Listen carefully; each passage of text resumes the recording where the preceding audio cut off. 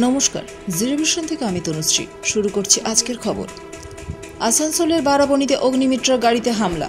বালিগঞ্জের south পয়েন্টে বাবুলকে ঢুকতে বাধা। কোম্পানির ওপরে কোম্পানি আধা সামরিক বাহিনী দিয়ে উপনির্বাচন হচ্ছে আসানসোল এবং বালিগঞ্জে। তবুও বিতর্ক এড়ানো গেল না। আসানসোলে বিজেপি প্রার্থী অগ্নিমিত্রা পাল বুথে গিয়ে পুলিশের সঙ্গে তর্কে জড়ালেন। অন্যদিকে বালিগঞ্জের তৃণমূল প্রার্থী বাবুল সুপ্রিয়কে কেন্দ্রীয় বাহিনী সাউথ পয়েন্ট স্কুলের বুথে ঢুকতে দেয়নি বলে অভিযোগ।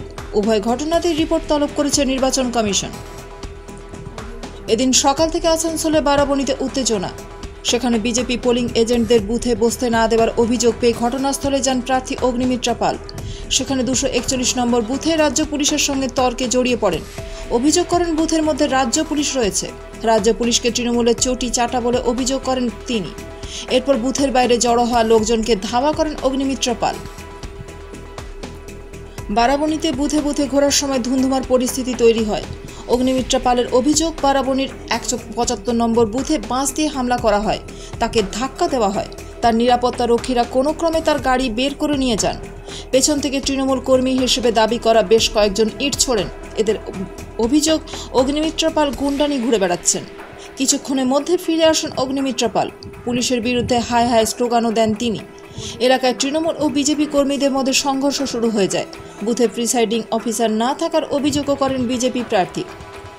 এদিন সকালে বালিগঞ্জের পাঠ ভবন এবং সাউথ পয়েন্ট স্কুলে উত্তেজনা দেখা দেয়। পাঠ ভবন স্কুলের ভেতরে কেন কলকাতা পুলিশের কর্মীরা তা নিয়ে প্রশ্ন তোলেন বিজেপি প্রার্থী কেয়া ঘোষ। মডার্ন হাই স্কুলে একই পরিস্থিতি তৈরি হয়। পুলিশের থাকা নিয়ে নির্বাচনী বিধির কথা বলেন বিজেপি প্রার্থী। অন্যদিকে বালিগঞ্জের সাউথ পয়েন্ট স্কুলে তৃণমূল প্রার্থী বাবু সুপ্রিয়কে ঢুকতে বাধা দেওয়া হয় বলে অভিযোগ। নির্বাচন কমিশন বারাবনির ঘটনায় অ্যাকশন টেকেন রিপোর্ট চেয়ে পাঠিয়েছে। তবে বিজেপি প্রার্থী যে অভিযোগ করেছেন, প্রিসাইডিং অফিসার ছিলেন তা নিয়ে বলেছে বেশ কিছুক্ষণের জন্য তিনি বাইরে গিয়েছিলেন। সে সময় দায়িত্বে ছিলেন ফার্স্ট পোলিং অফিসার। পাশাপাশি নিরাপত্তা রক্ষী সঙ্গে নিয়ে বুথের মধ্যে ঢোকার ব্যাপারেও বিজেপি প্রার্থীকে সতর্ক করা হয়েছে। অন্যদিকে বাবুল সুপ্রিয়কে সাউথ পয়েন্ট স্কুলে ঢুকতে না দেওয়ার অভিযোগ নিয়েও রিপোর্ট চেয়ে পাঠিয়েছে নির্বাচন কমিশন।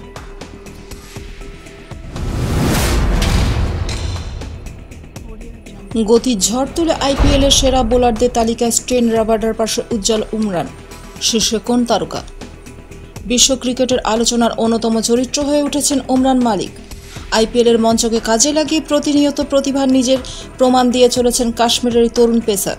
ক্রমাগত বোলিং করে চলেছে একশো পঞ্চাশ কিলোমিটার পার ঘণ্টা বেগে। দু হাজার একুশ আইপিএলে উমরানের গতির তাক লাগিয়ে দিয়েছিল বিশ্বের ক্রিকেট প্রেমীদের। এই আইপিএল যেন প্রতি ম্যাচে নিজেকে ছাপিয়ে যাওয়ার লড়াই করছেন উমরান। চেন্নাই সুপার কিংসের বিরুদ্ধে তার দ্রুততম বলটি ছিল একশো তিপ্পান্ন দশমিক এক কিলোমিটার পার ঘণ্টা বেগে। এক নজরে দেখে নিন আইপিএলের ইতিহাসে সেরা দ্রুততম বল কারা করেছেন। Shaun Tait, Australia Rajasthan Royals. আইপিএলের ইতিহাসে দ্রুততম বলটির মালিক এখনও পর্যন্ত শন্টেড। দু হাজার আইপিএলে অ্যারন ফিঞ্চকে দু একশো সাতান্ন দশমিক সাত কিলোমিটার পার ঘণ্টা বেগে বল করেছিলেন টেট। রাজস্থান রয়্যালস বনাম দিল্লি ডেয়ার ডিভিলসের ম্যাচে বলটি করেছিলেন টেট।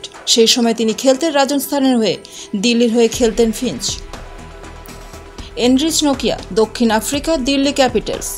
দু হাজার কুড়ির আইপিএলের সংস্করণে ক্রমাগত এনরিচ নোকিয়া বাকরুদ্ধ করে দিয়েছিলেন প্রত্যেকে নিজের গতির কারণে। ক্রমাগত একশো পঞ্চাশ কিলোমিটার গতিতে বল করে গিয়েছিলেন তিনি।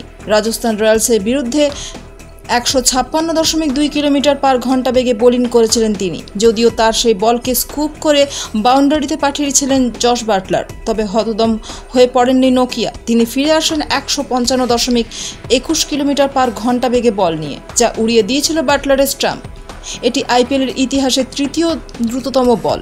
এছাড়া একশো চুয়ান্ন দশমিক চুয়াত্তর কিলোমিটার পার ঘণ্টা, একশো চুয়ান্ন দশমিক একুশ কিলোমিটার পার ঘণ্টা এবং একশো তিপ্পান্ন কম দশমিক বাহাত্তর কিলোমিটার পার ঘণ্টা বেগে বোলিং করেছেন নোকিয়া।